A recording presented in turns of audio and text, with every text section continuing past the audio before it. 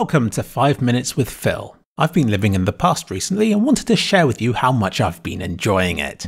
Final Fantasy IX is one of my favourite childhood games. I won't deny that a lot of its appeal is that I can still see it the way I did back then. But I still think the game's mechanics hold up well, although its pacing is painfully slow by today's standards. So the PC port's fast forward feature has been a godsend.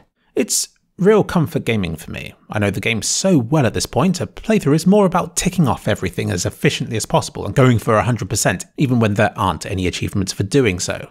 I'm doing this for the love, and even better, I'm enjoying this playthrough even more than the last one I did of it, a few years ago, which is always nice. You know when you get into something so much that you lose track of time and suddenly it's the early hours of the morning? It's frowned upon by society, but it feels great to enjoy something so much that you lose track of everything else and it's made me realise how long it's been since I've been this invested into something.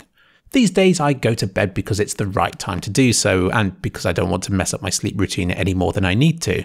But it's a bit unsatisfying to do that, and when I'm enjoying myself this much, I honestly don't care much about my sleep cycle anymore. Good sleep at a bad time is better than bad sleep at a good time.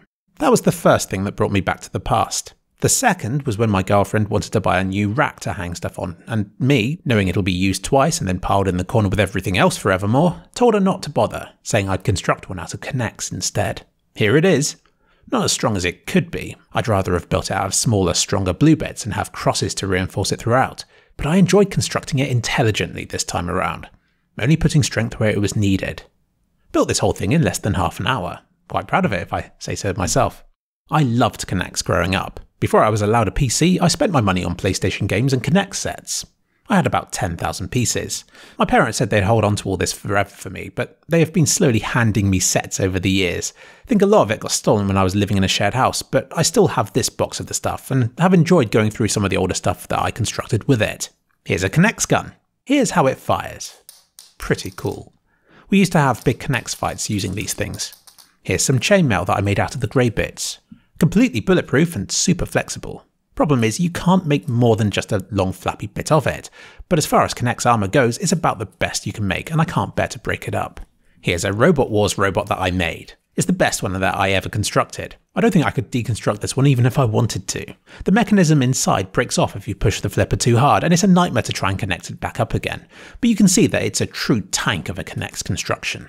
And here's my latest attempt to make a repeat fire K'NEX gun. As a child, I always thought it would be possible, but trying to make one the other year, I finally decided that some things just aren't meant to be made out of K'NEX, and there's too much friction and too many jams for this thing to be any more than just a curiosity. Here's a block I constructed to be as strong as possible. It was always my dream to build a house out of K'NEX, though that's probably best left as a childhood dream than as a depressing adult failure. My mum could stand on this small block of the stuff, no problem, though I'm not sure I'd risk it now because the K'NEX has become depressingly brittle in the 20 years since it was first stored. Some advice, though it's probably too late for it, but don't store K'NEX fully constructed. Dismantle everything before storage, because when I returned to my K'NEX and started taking apart all of the old things I had made, so many bits started snapping off. I never broke K'NEX at the time, but years of being connected together appears to have taken its toll. Before you pass me off as being a nostalgic old loser, I've been enjoying some new stuff as well. I've absolutely loved playing Mario and Luigi games on the Nintendo Switch. PC, Xbox, and PlayStation might be what I grew up with, but they all feel samey and predictable compared with venturing into Nintendo's unique IPs. Luigi's Mansion and Mario Galaxy are two of the finest collection games I've ever had the pleasure of playing, though most of it has been watching somebody else play them and getting really frustrated when they seem unable to do a segment that I think looks easy. I also want to get into Zelda since it looks like a great adventure game that isn't afraid of killing you until you figure stuff out. The controls are really sucky though. I don't like the Switch's controller much at all. But that's okay, I've bought one that's a lot more like the ones I'm used to. I've also done a few jigsaws. The process alternates between fun and rewarding and long and tedious. You get some moments where you quickly place a dozen more pieces in, but then there are other times when there are so many samey looking pieces that you just can't be bothered to do it anymore.